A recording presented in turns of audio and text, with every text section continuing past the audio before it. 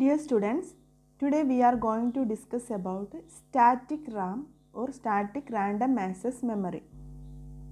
It is also called 6 transistor SRAM. So what is static RAM? RAM is random access memory. That means memory with both read and read capabilities. And SRAM cells use a simple bistable network to hold a data bit. An SRAM cell can hold the stored data bit so long as the power is supplied to the circuit. So SRAM have three operational modes. That is when the cell is in the hold state the value of the bit is stored in the cell for future use. And during um, a write operation a logic 0 or logic 1 is write into the memory for storage and the value of the stored bit is transmitted to the output world during the read operation. So the, basically there are three operating modes hold state, read operation and write operation okay. So as long as the power is there the value will be stored in the memory okay. Next, RAM is a volatile memory that is data stored will be lost when the power is off. That means it will lost the data when the power is off. That means it is opposite to that of the ROM. In that case, ROM is a non-volatile memory. That means the data stored will not be lost during the absence in the absence of power. And in RAM, it is a volatile memory, so data will be lost when the power is off. And RAM is divided into static RAM and dynamic RAM and static RAM, the major difference between the static and dynamic RAM is in the case of static RAM, feedback storage is used but in the case of dynamic RAM, capacitive storage is used. So in the case of static RAM, there is no need of refresh cycles. But in the case of dynamic RAM, it needs refreshment. That means refresh means uh, first the data contents of the data will be read contents of the memory cell will be read first then it will be write into that memory. That is a one refresh operation okay? So dynamic ram needs uh, refreshment whereas static ram doesn't need the refreshment. Let us see the there is in the case of a static ram there is a main element that means a memory element. So actually the two inverters connected back to back will serve as the memory part and as in the case of the ROM there will be word line and bit line. So there will be one word line and two bit line and bit lines are represented by BL and BL bar. And also there are two transistors which are called access transistor. Actually this transistor enables this memory cell to access this bit line. Actually this bit line and bit line bar will act as input or output lines. So for reading from the memory cell we have to access this bit lines. So for accessing this bit line we are using this access transistors. Actually this access transistors gate is connected to the word line. So whenever we are giving a high signal to this word line then this access transistor will be on. Then only we can access this bit line. Okay. So there will be two closely coupled inverters, two transistors which are access transistors a particular memory cell is enabled by word line which is in turn enable access transistor to bit lines which contain stored data and its inverse okay so bit lines വെച്ചിട്ടാണ് നമ്മൾ memory സെല്ലിലെ contents access ചെയ്യുന്നത് okay read ചെയ്യുന്നത് so first of all let's see static CMOS RAM so this is a basic S RAM static RAM now we can see static CMOS RAM. It is all, it is a six transistor RAM. You know here is the inverter that we are using in the case of static RAM and this inverter is replaced with a CMOS structure. You know that an inverter can be replaced by a CMOS. It will contain a PMOS and an NMOS. Similarly, this inverter also contain a PMOS and NMOS and this inverter will be connected back to this inverter. Okay. Let us see this inverter structure can be replaced with this inverter structure. So a PMOS will be there, NMOS will be there, input is taken here, output is taken across here, okay. So um, input suppose uh, this is the inverter structure and Q is the input and Q bar is uh, here uh, the output. Suppose here the input is 1 then corresponding output is 0, Q bar will be 0 because this inverter converts this 1 into 0. Similarly, here the input is 0, the output will be 1. That means whenever we are giving the input to 1, it will be maintained here due to this inverter. Because whenever this is 1, the output will be 0 then that output is fed back to this inverter. So the output will be 1 that means during two different cycles the input will be stored there. So we can say that this will act as a memory element. So 1 is keeping there and 0 is keeping there. So it will act as a memory element okay so memory has to be connected to the something. This memory element should be connected to the something so that we can read or write.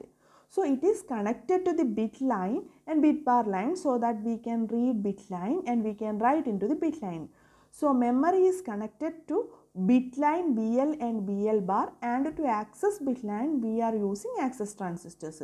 So this is the memory element. Here you can see that first inverter is this one and second inverter is this one and this inverter input is this and it will be connected to the output of this inverter.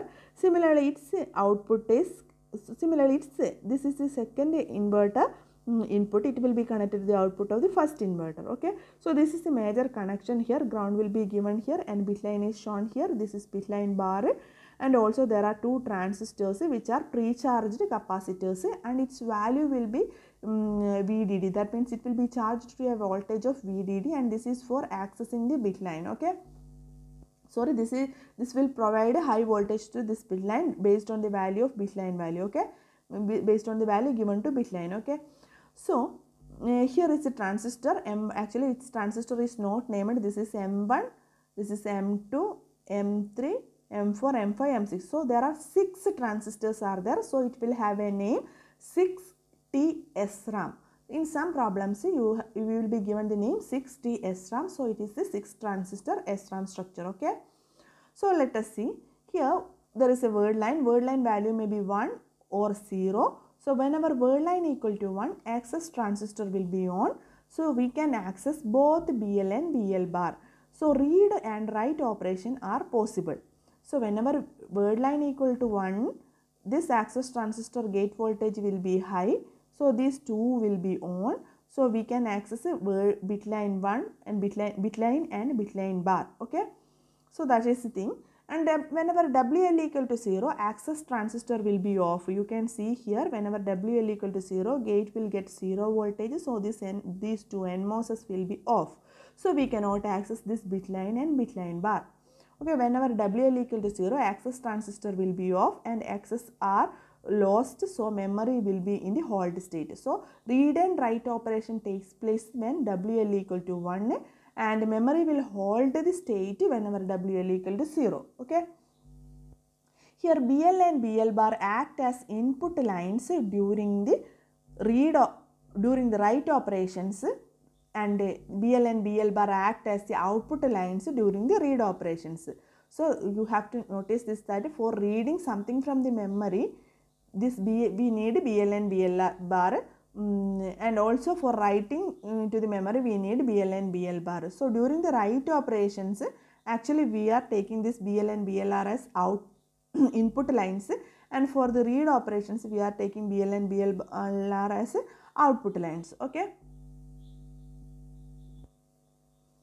And there is a pre-charge capacitor which is also used in the read and write operation that we can see in the working okay. First of all let us see the read operations. First we can read uh, whenever we are giving input q equal to 1 and q bar equal to 0 suppose if we are if there is this value in the memory and we have to read this value so that is the first first case and then we will discuss about the reading of the q equal to 0 and q bar equal to 1 so let us see the read operation first of all let us see uh, it is better to remember this read operation point wise so first of all for the read operations we know that there should be some value in the memory okay that is clear so let that value be q equal to 1 and q bar equal to 0. Let us see this diagram. So this is the memory and here is some value that is equal to q equal to um, 1 and q bar equal to 0 value will be there. So that is already in the memory and we have to read that value. So how it is possible? To read what we have to do? We have to access the bit lines. Okay, right? So BL and BL bar we need. So what is the function of BL and BL bar during the read operation? It will act as what line? Input or output line? It will be acting as the output lines, right? In the case of read operations, bit line and BL bar will be acting as output lines. So in order to access those bit lines, we have to set word line equal to 1. So that is the condition. So WL should be equal to 1 so that we can access BL and BL bar. And in the third point, what, what will happen to this BL and BL bar? It will act as the output line because we are going to do read operation. Okay. So next we have to check the condition for the pre-charge capacitor. Here there is a pre-charge capacitor here. Now this is high. These two transistor will be on and this BL and BL bar will be ready for reading. Okay. This will be act as the output lines for reading operations. And next there is a pre-charge capacitor and this will be charged to a maximum voltage VDD. So here at this point there will be VDD and here also there will be VDD. Okay, that's clear. Now what is Q equal to 1 and Q bar equal to 0. So what will happen whenever this point is VDD, this point is a lower voltage. So this will capacitor will starts to discharge through this path, right? You can see the direction of the current will be like this, okay? So this will be charged, uh, dis, dis, discharged through this path. So that the voltage at this point reduces, okay? You can see the voltage at this point will be reducing, right? So let us see. Whenever q equal to 1 and q bar equal to 0 capacitor voltage at the point will be vdd so the capacitor um, at the right side will be discharged. So node voltage will decrease. So what will happen to this bl bar? Bl bar will decrease and here the value of BL and BL bar will be sent to the sense amplifier. There will be a sense amplifier which is the comparator. So BL and BL bar line value will be uh, given to the sense amplifier. It will be given as input to the sense amplifier. So whenever BL bar decreases, so it will um, it will be reduces the voltage um, across this um, comparator or uh, across the sense amplifier. When capacitor voltage decreases, then the sense amplifier output is 1 that means sense amplifier negative terminal will be low and BL terminal will be high so its output will be 1. So the output is equal to 1 so we can say that output reads as 1.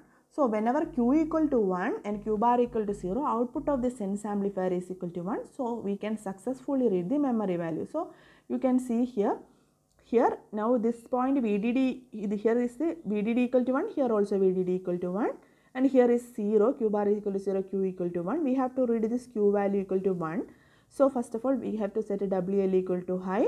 And bit line and bit line bar will be act as the output lines and what will happen to this point? This point voltage is vdd so it will start discharging through this path. As a result its voltage at this point will be reducing. So bit line bar will be reducing. And you can see here here is the voltage is 1 and here VDD so there is no discharge of this capacitor. Here the voltage will be VDD so bit line voltage is VDD and bit line bar voltage is reducing. So this bit line and bit line bar voltage will be connected to a sense amplifier whenever bit line bar, bar is reducing that means the output of the sense amplifier is increasing. Because it will be connected to positive and negative terminal of the sense amplifier actually it is a comparator. So one of the voltage is reducing bit line bar voltage is reducing means that sense amplifier output is increasing. That means it will produce 1 so we can say that this bit line bar will show high voltage. Bit line bar is connected to sense amplifier or sense amplifier voltage is high. 1 so we can say that it, this will this bit line successfully read the value 1 in the memory okay so that is the way we are reading the value 1 next whenever q equal to 0 and q bar equal to 1 let us write the steps when q equal to 0 and q bar equal to 1 is in the memory, for reading that operation WL equal to 1. That is the second step. So here in the case of read operation again BL and BL bar are output lines. Okay. Whenever WL equal to 1 these lines will be enabled. And here the capacitor, pre-charge capacitor will be charged to a value VDD. So let us see this diagram. This is VDD and here again this is VDD but here now Q equal to 0. So here there is a voltage difference. So this capacitor starts this starts discharging through this path. So the voltage at this point reduces that is bit line voltage is reducing. Again look at here, here BL bar is equal to VDD, here also voltage is high 1. So there is no discharge of this capacitor, so VDD will be keeping here. So this bit line and bit line bar will be connected to a sense amplifier and here the sense amplifier, one of the line will be um, bit line is reducing but it will be connected to the positive terminal of that sense amplifier. So whenever it is reducing, the sense amplifier will produce a high output sorry uh, sorry sorry it, it will produces a low output so we can successfully say that we can say that the, in the memory there is a zero value q equal to zero value and sense amplifier output is low that means we can successfully read the memory value equal to 0 So actually this sense amplifier output it depends upon the terminals where this BL and BL bar is connected. Okay. So that's all about this SRAM reading operation. In the next video we will be discussing about a 6 transistor SRAM write operation. Thank you.